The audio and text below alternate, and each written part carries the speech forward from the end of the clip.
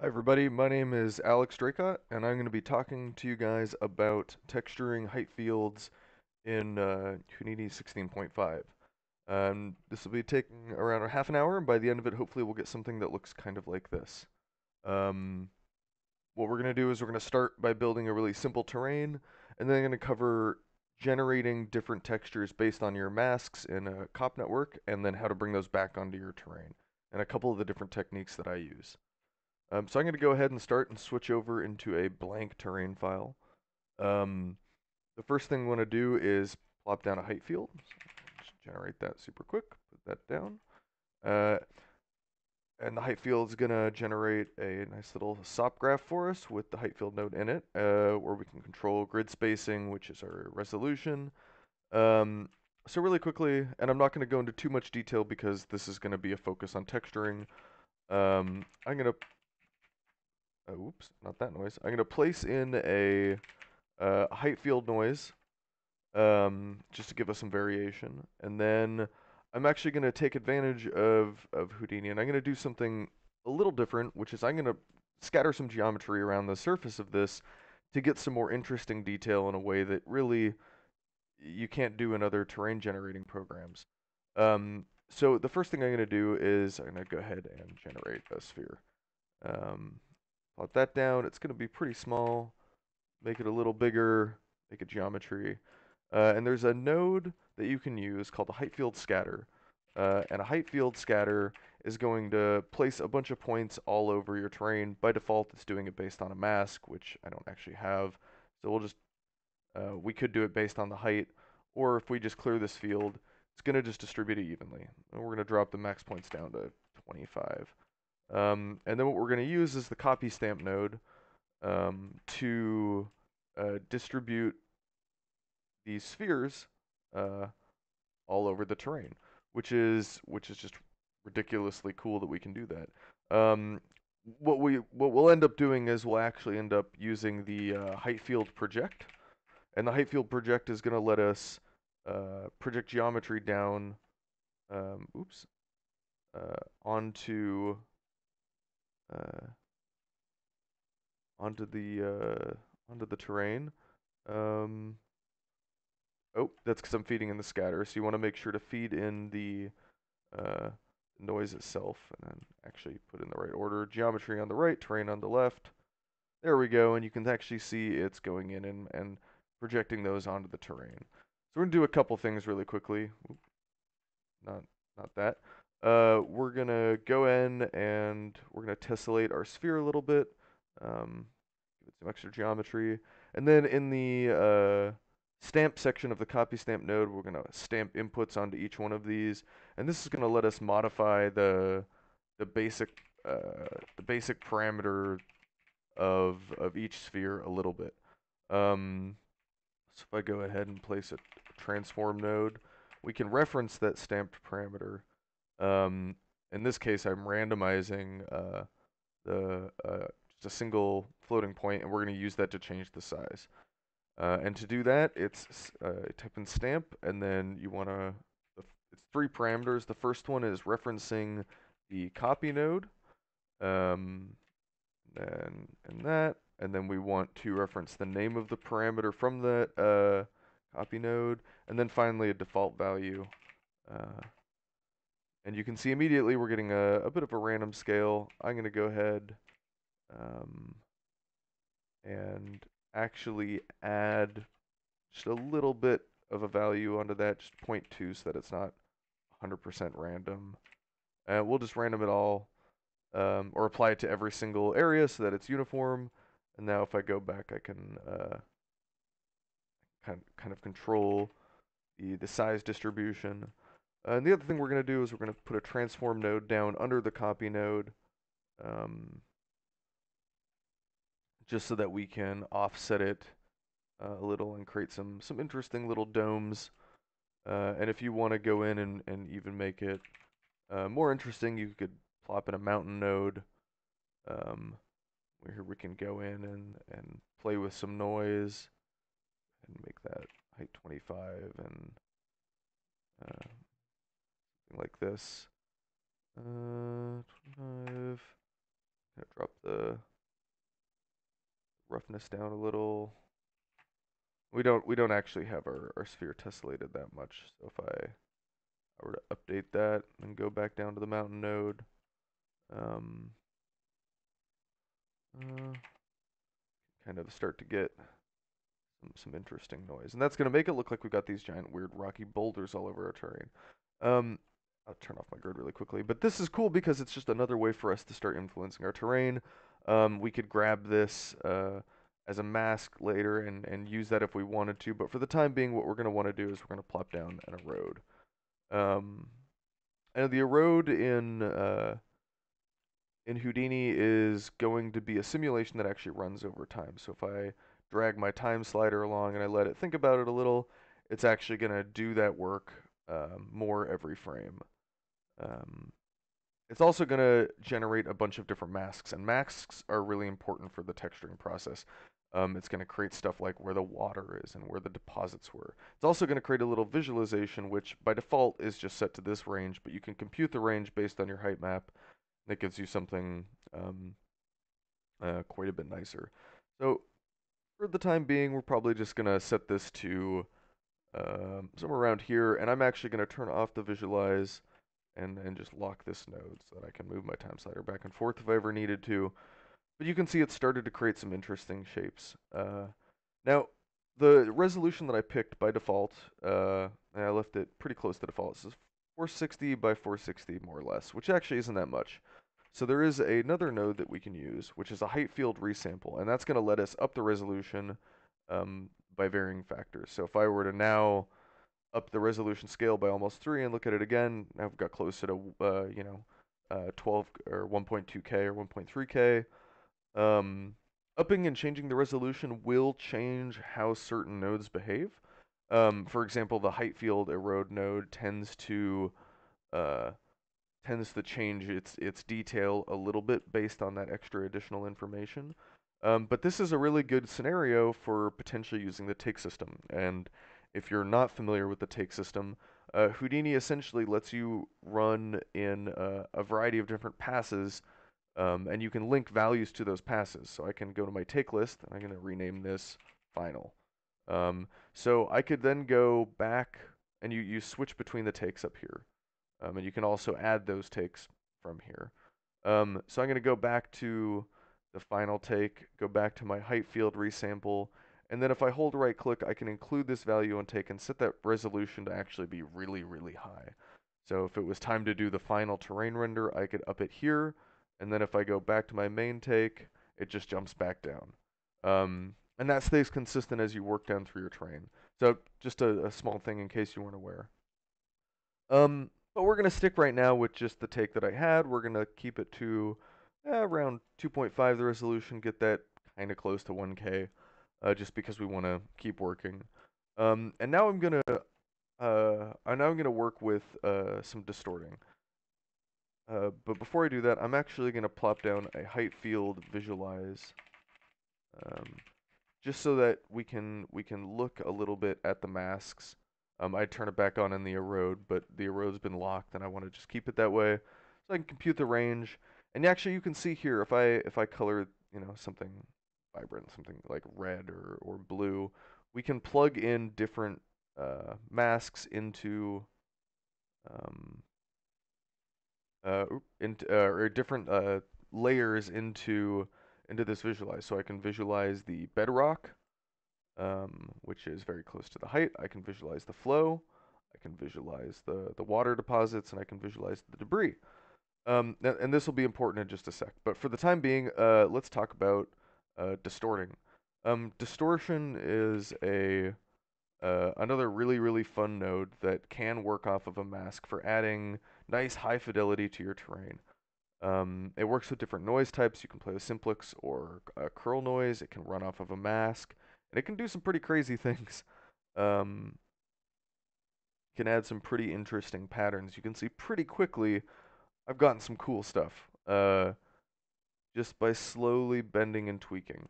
Now, here's the problem, is that a distort uh, gets applied to a layer I, right now it is just applying to the height layer. So if I were to look at my water mask, which I believe this is, no, this is debris. So let's look at water.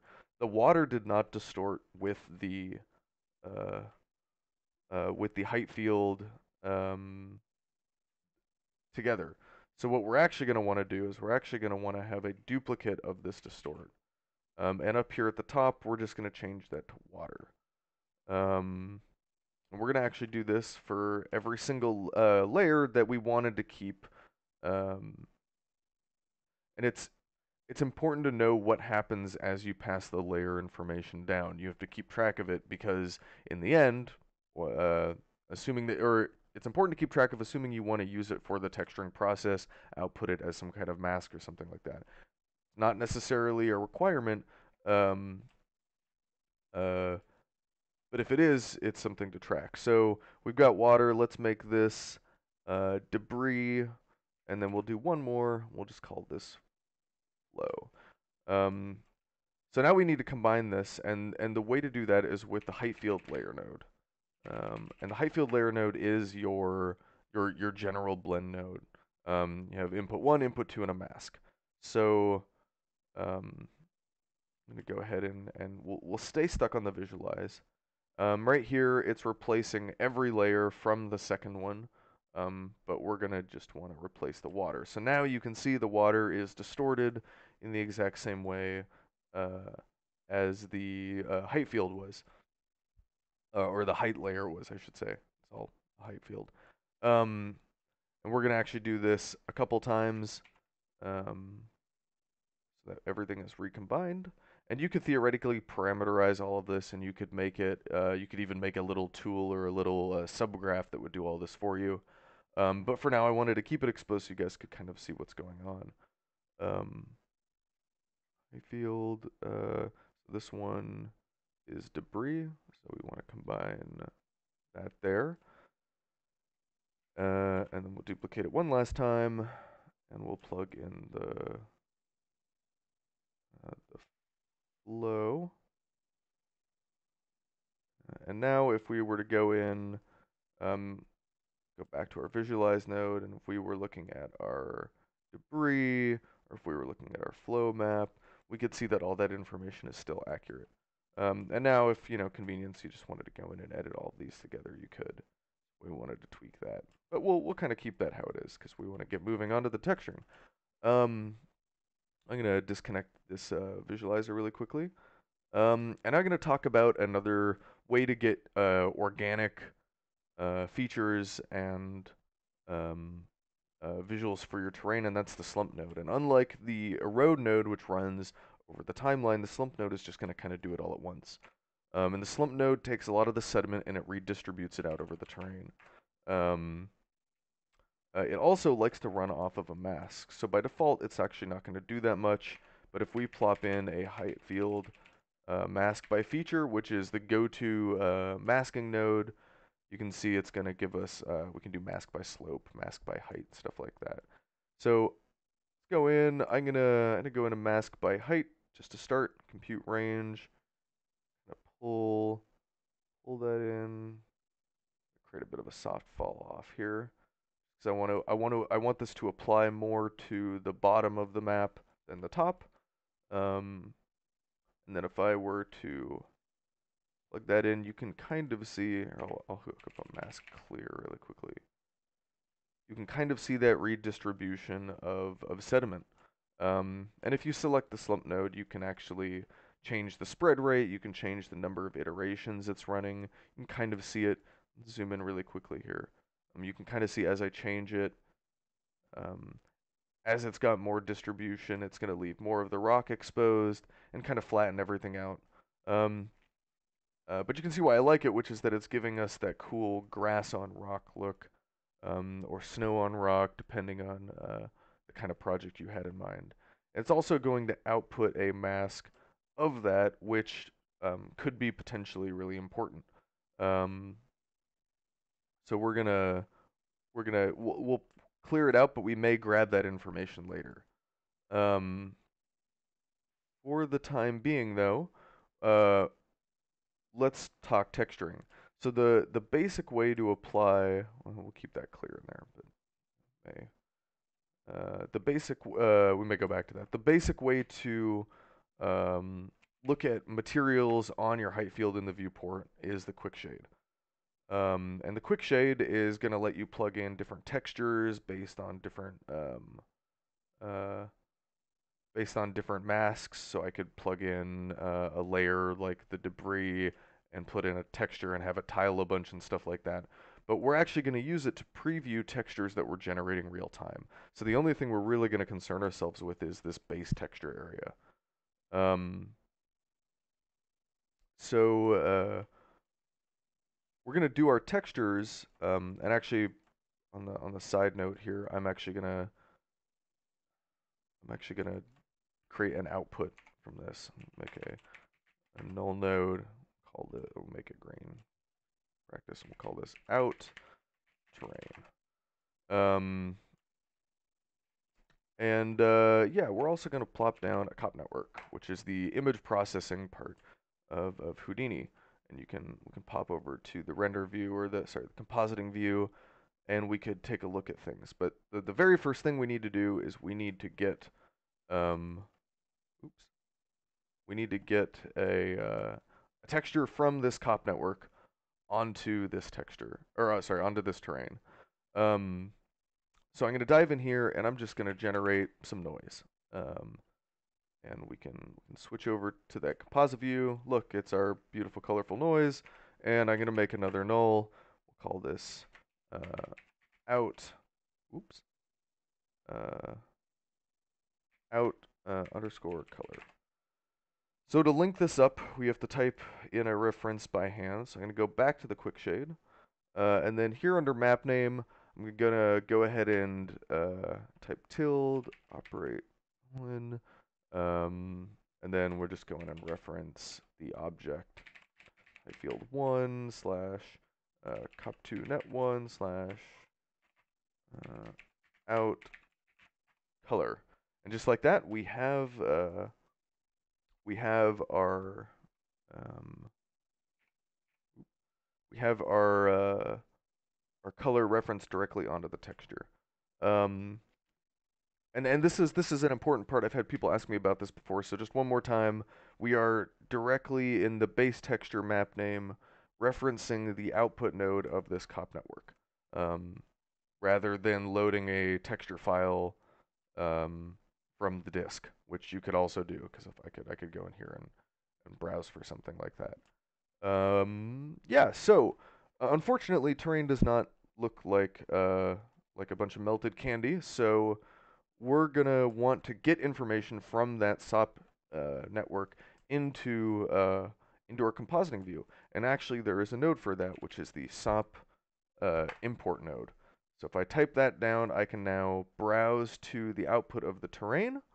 Um, when we look at that, we can immediately see um, some information coming through. It doesn't look very correct. Um, uh, and there's a couple things we want to do to set this up correctly. The first is we want to set this, the resolution um, from the SOP network. Uh, and this is going to now set the resolution of this uh, image to 1139, which is what we had before. We're also going to want to set planes because uh, the compositing uh, setup works on image planes, and we can see all the different planes now populate here. And we'll be bouncing back and forth between these um, uh, quite a bit. So uh, look at the water, the debris, the flow, um, they even still have that uh, mask from the slump node, which is super cool. Um, yeah, so the the last thing we want to do is we want to remap everything to 0 to 1. Um, and that's great because that lets us work with consistent stuff for ramping and creating gradient textures and that kind of thing. Um, uh, but yeah, so let's make some let's make some textures. When when it comes to uh, generating uh, terrain textures, we're gonna probably focus on just the diffuse for this uh, for this setup. Um, uh, a really common technique that you can see in, in World Machine and other other programs is to use gradient mapping. Um, and so we're going to go ahead and create a a VOP COP2 filter node. Um, and this is going to let us customize uh, a little chunk of code that can run over our image. Um, And uh, what we're going to want to do here is we're going to want to have some kind of input, which is going to be the alpha. We're going to want to put in a ramp parameter. Um, and a ramp parameter is uh, the, the, you know, the kind of gradient mapping that we're used to.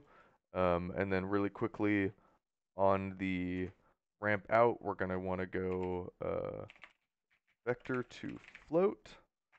Um, and plug these into red, green, and blue.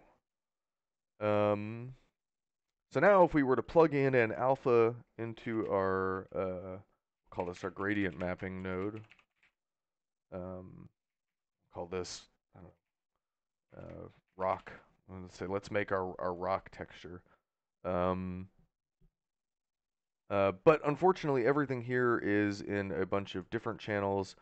Um, uh, fortunately, there is a, a node to move channel information from one to another, and that's the channel copy. Um, so we'll call this uh, um, what should we call this? Uh, call this uh, slump mask. Um, and actually, let's work on the let's work on the grass. So uh, in this node, we can say, hey, we want to be making a new plane. We want to make it an alpha plane. And the source, we want the mask that we had before. Plug this in, and now if we look over at the color output, we are seeing a black and white uh, uh, image of what we were making. I'm going to go ahead and make make something that kind of looks like grass. Uh, forgive the the the low quality. This will be a, a quick demo, so we're not going to go super crazy on this, but you know, just some some variation in here, um, kind of create some interesting uh, interesting patterns. Uh, maybe a little bit of uh, orange or something. Uh, yeah, looking kind of fun. Um, and if we were to take this color now, plug this into our out color, go back to our scene view, we can actually see that information showing up here. I actually don't like the orange. And what's cool is I can now just edit this here and look at the output in the, the window and update that. So uh, that is our, our very basic, how do we get some information all the way through here. So I'm going to go ahead and delete that noise. Um, and at this point, really, it's it's it's just about uh, the the terrain pipelines that you may be used to. So I've got this um, slump mask, uh, and actually a quick tip is it's still showing the height channel here. I can go in here and actually show the alpha channel, so we can now see that the slump mask looks like the slump mask. Um, uh, I'm going to go ahead and combine this with some noise. We'll pull the noise off from this just so that uh, um, we're generating noise in the alpha channel. Um, and I want to blend these together because I want I want some noise to have some influence on top of this. Uh, so the blend, um, uh, merge all planes, alpha and alpha. Oop. Being a little weird um, placing the alpha channel, and then here um, you can see we we're slowly adding in um, some some interesting noise there. So let's go back to our compositing view um, and look at the noise itself, uh, and and get some get some more interesting stuff. The alpha channel um, can really pull up the roughness a little. Um, and add some some turbulence. Now we're getting some cool hyper detail, which we can now blend on top of the slump mask that we had before. Um, and as a result, uh, get a more interesting color output. Um, if I select the blend node and kind of see what, uh, how much of each one we want to pull in, we're getting some nice interesting little noise there. And again, we could be working back on our terrain. Um, but I think this is looking pretty cool. Uh, so let's bring in some other uh, additional layers really quickly. Uh, the big one that we want to do is we want to blend between where the slump mask is and everything else to make rock. So uh, I'm actually going to duplicate this over. We'll call this one um, gradient mapping rock. Uh, I'm going to kill most of that really quickly um, and make uh, something like a desaturated, darker, orangish um, rock color. Uh, and this is still, we're using the gradient mapping, so we're, we're looking at the noise. Hop back over here to the, uh, this. Yeah, there we go. Plop in much darker value. Um, and we'll, we'll just generate a different noise just to keep things different. Um, we'll maybe switch to something like that. Maybe not as rough. Some, some softer, some softer noise in there. And then we're going to want to blend these two together. Um, um, and we're actually going to want to blend blend based off of our slump mask because our slump mask kind of had that initial information. Um, but you can kind of see it's it's doing a uh, it's doing the work, but it's still it's still pretty low contrast. Um, and the fact that this is image processing means we can go in and put in uh, a nice levels node um, to really pull up the contrast. Um, we'll have to go over to the uh, the alpha alpha tab on that. Uh, let's go look at compositing view. Uh, there we go. So make that nice and nice and high contrast, which then in turn is going to create uh, uh, a blend. We also have to tell it what to blend off of. We're blending off of alpha. Um, and uh, yeah, now if we go back to our scene view, you can see that I got the values backwards. Um, we're going to swap that really quickly.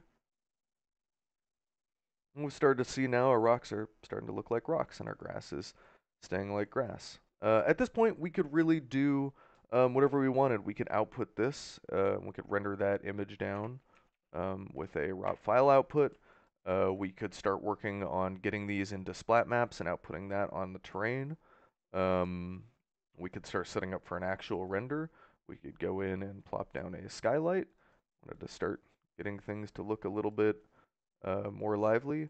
Um, and the nice thing is all of this is just set up so that we can we can go back to you know the slump, for example, if we wanted to um, drop those iterations, the textures will just update for us, and that is really really cool um, to have that information, to have that kind of control.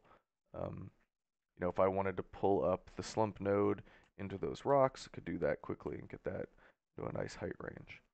Um, anyway, that's uh, about it for this recording. Um, feel free to reach out to me. Uh, uh, I think my, my website is uh. Um, just Alex Dracott at Digital Dracott. Um, I'm happy to, to answer any questions if I can. Um, but uh, yeah, hopefully hopefully this gave a little bit of a glimpse into some of that texturing, uh, into some of that texturing process. Um, normally I'd ask for questions, but uh, yeah, feel free to, to hit me up. Thanks.